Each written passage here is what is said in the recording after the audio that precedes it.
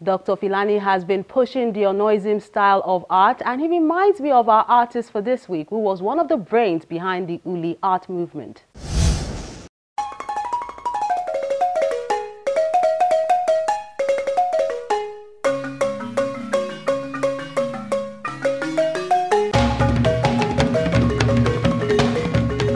A Nigerian painter, native of Abatete in Anambra State, southeast Nigeria, who received his first artistic training at Ahmadu Bello University Zaria, Kaduna State.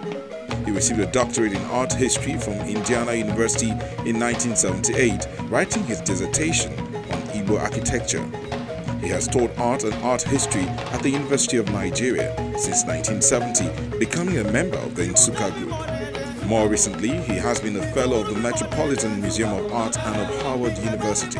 Along with Uche Okeke, he was among the first Nsukka artists to develop an interest in Uli, and his drawings and watercolors display a strong affinity to the system. His human figures frequently possess elongated His human figures frequently possess elongated bodies and limbs, and he often makes use of negative space. His subjects are mainly drawn from Igbo culture from the Biafran War. More recently, his art has become more concerned with Nigerian social conditions. On our Works of Art segment this week, I noticed a lot of young artists are really conscious about what's happening in the society. So lots of pieces are either spreading good cheer, talking about family values, or the dangers of war. And these are your works of art for this week. It begins with this work called Gladness of Heart, an acrylic on canvas piece done by Wisdom Azu, who explains that it gives him so much joy when he sees people smiling and happy. There is too much hate and bitterness in the world. People should try to be happy and put a smile on someone's face because we came with nothing and we will leave with nothing to this other piece done by Don Okes is called Strings of Glory. It's a soft pastel and charcoal pencil work of art. Don was inspired by this poem written by Daniel. It goes, I sat on a rooted seed from a tree, shading my shame, and wondered the awesome handiwork. Then I looked up my inner voice to spread his fame. With a string in my hand, I sang his name. Then this other work of art is done by Femi Adedeji.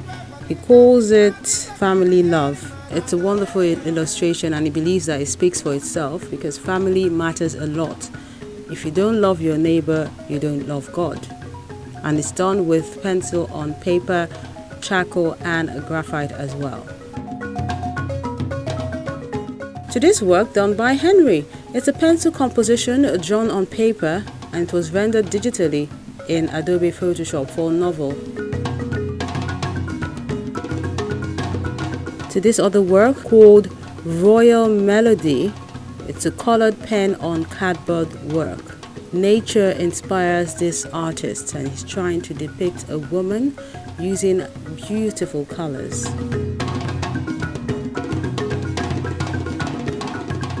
Salahuddin Mustafa has this one. He calls it Evolution of Black Slavery. It's a watercolor and charcoal work of art where he looks at the evils of slavery.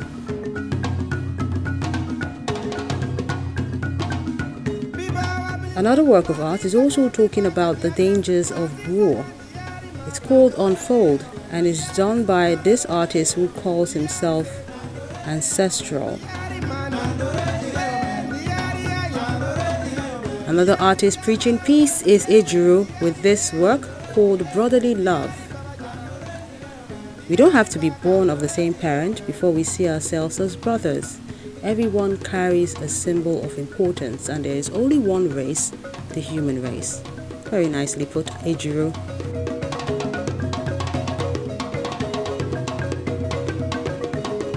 And those are your works of art for this week. We do encourage you to keep them coming.